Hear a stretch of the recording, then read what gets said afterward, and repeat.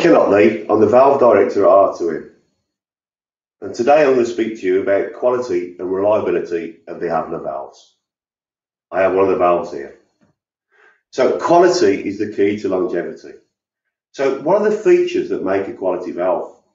Well, in this particular case with the Hawle valve, we've got a very heavy duty O-ring carrier.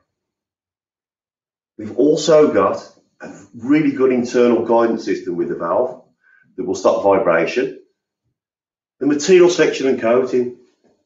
We've got a spindle that's made from a duplex stainless steel. We've got a body that's a very high quality ductile iron. The spindle and the spindle nut. Again, it's a really robust geometry. We've got a roll thread on the spindle. The brass nut itself will stop zincification because the alloy is so good. And we've also got the wedge design, which is a, a ductile iron body with, with a fully vulcanized coating. Okay. So the cost of quality. It's no secret at the moment in, in, in, well in the UK and all over the world that the market is saturated with cheap imported valves, particularly from Asia. Okay. We have a saying in, in the UK: if, if you buy cheap, you buy twice. Okay, so these valves, the cheap valves, they won't last a long time, like any other product you buy. So what I've shown this table is the typical longevity of a valve by region.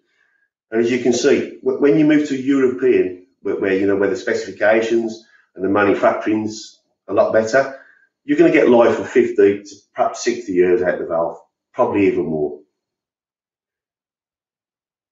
Apart from the, cost of the valve alone, what, what's overlooked, often overlooked is if a valve fails, what have you got to do to change that valve? Now, it's not always straightforward. These valves can be in confined spaces. They can be in the middle of a road. And you know, to change that valve, you've got to consider road closures. You've got to consider you know, the public that's going by, the safety. If the valve is in a confined space, as we mentioned, you've got to think about rescue teams. How are you going to get to that valve?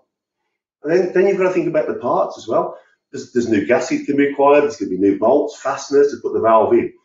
And all these costs are often overlooked, but they should be considered in what they call the Totex price. So if you look at the actual cost of an Hawle valve, it might cost twice twice as much as, as, as, as an imported valve or as an Asian imported valve, but it will last perhaps three times longer. So each of these costs need to be considered. We then look at a critical operation valve. So you, you want to put a quality valve in, in, in, a, in, a, in a situation that will provide means of, of, of isolation or control to, to let, us just say, into an hospital, for, for instance, where, where, there could be, you know, a problem if they've got no water. Obviously, we can think about what they'll do to an hospital. So that valve, it's a critical operation valve, and it's got to be able to operate every time you come to it. Another good example is a scour valve on a reservoir.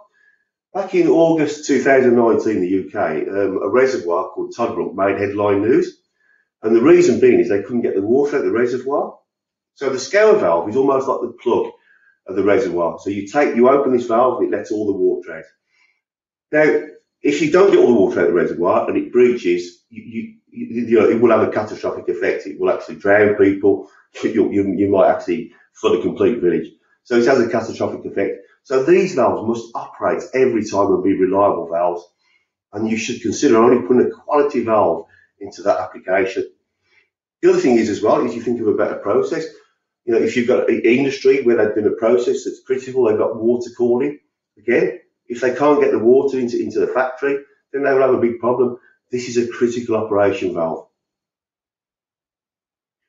I say so. Let's move on to about the environment now. Okay, so climate change is now one of the biggest threats to the security of modern humans have ever faced. And this was stated by Sir David Attenborough, who's quite famous in the UK for his environmental concerns. Um, and what, I think what we don't look at really is we, we, look at a product, but we don't think where it's manufactured and what techniques are used to manufacture that valve. Now, let's just go to Asia, where they've probably got different legislation when it comes to emissions. You know, their health and safety be completely different to what we're doing in Europe. You know, we're, we're dealing to, you know, European standards. In Asia, it's completely different. So, for instance, let's just look at, you know, how, how we get the product into the UK. So we've all seen these big, it's just made headline news in the Suez Canal, these big cargo ships that are coming over, okay? I mean, they throw out, each one of these cargo ships puts out equivalent to 50 million cars in pollution, equivalent.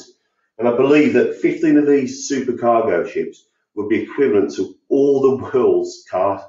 So, so 15 ships coming from Asia into the UK would produce that much pollution. We also talk about methods and the foundries and the processes used in Asia. Uh, brown coal is still burnt in some areas. Now, brown coal is particularly nasty because it, cause it will put you know, poisonous gases into the air from heavy metals and particles. And, it, and it's, I believe brown coal now is banned all in Europe, but obviously in some regions where there's no legislation, it can still be used. It's cheap.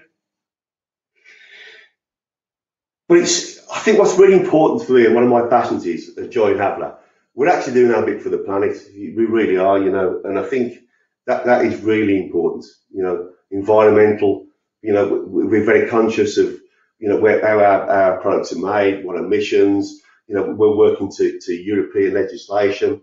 And I think that's really important for the future of our children. Thank you.